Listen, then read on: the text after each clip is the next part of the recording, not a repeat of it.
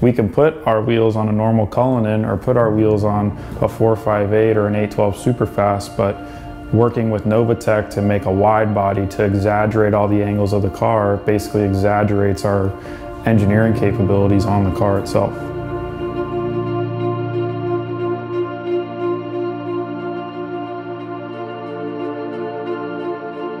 Obviously, being an automotive brand, we can customize anything that has a set of four wheels on it. So we can do trucks, we've done Porsches, we've done BMWs, we've done every build underneath the sun. So with the Rolls-Royce Cullinan, it was super special to us because it's a Rolls-Royce to begin with.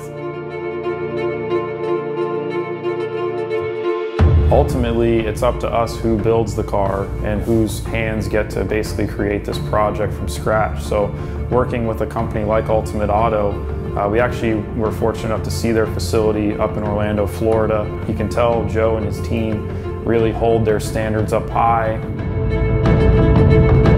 We have probably the largest, nicest shop in the country, if not the world, at this type of custom work.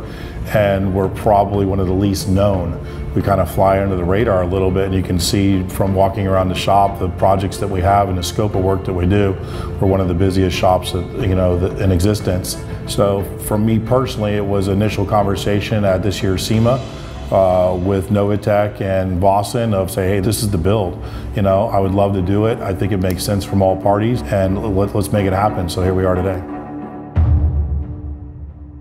So when we started this whole project, obviously with everything that's going on in the world right now with the pandemic, uh, all the shipping times and everything were pretty delayed, but luckily we secured a Rolls-Royce Cullinan uh, up north from us at a local dealership. All the parts came in from Novitec, trickled in slowly but surely, but uh, everything was shipped up to Ultimate Auto.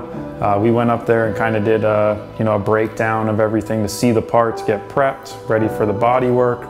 Uh, obviously, once the car rolls out, it's a completely different car. Uh, the Rolls-Royce Cullinan is already a, a, work of art in its own, so seeing Novitec's twist on it and adding all the, the fender flares, the rear duckbill spoiler, the more exaggerated front grille along the bottom, everything ties in really well, and obviously the icing on the cake is the uh, SP2 wheel, so everything wrapped up really nicely.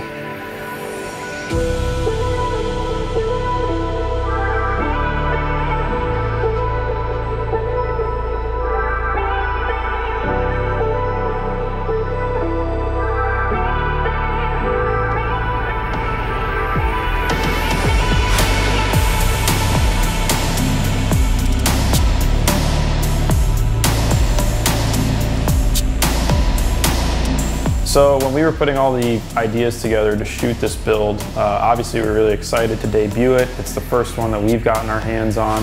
Uh, so we wanted to make it super special. Uh, we chose a spot local to us. We were lucky enough to be able to shoot at this particular location and we chose it because it's a blank canvas. It's a nice neutral color. Uh, all the cement in the background, the really unique angles, it kind of follows the body lines of a Cullinan.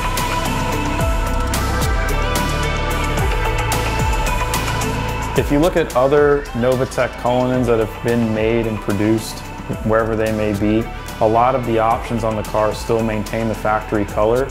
Our build was unique because we blacked out a lot of the accents, so the door handles, parts of the grille, parts of the rear wicker bill, uh, all of those options are unique to that specific car. So obviously, it's our car. We wanted to make a one of one. So super unique. It was very special to us, and we had a blast on this entire build.